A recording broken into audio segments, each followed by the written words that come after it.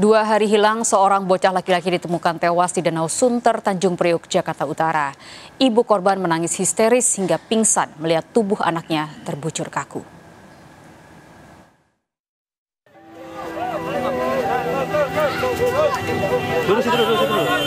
Ibu ini menangis histeris dan pingsan saat mengetahui anaknya yang sudah dua hari hilang ditemukan sudah dalam kondisi tak bernyawa di Danau Sunter, Tanjung Priok, Jakarta Utara. Bocah berinisial R berusia tujuh tahun ditemukan tewas mengambang di samping perahu wisata Danau Sunter. R ditemukan pertama kali oleh pegawai perahu yang mencium bau menyengat. Tengah tujuan habis buka puasa, jadi nyium-nyium hanyir, jadi sama karyawan yang lain dicari. Pas diketemuin itu mayat, ada di belakang bebek sini.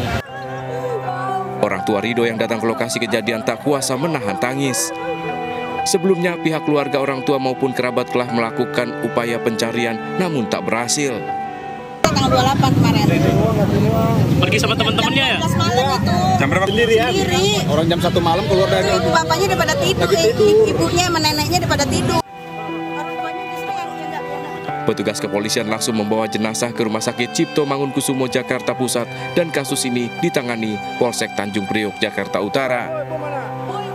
Dari Jakarta, Sofian Firdaus melaporkan.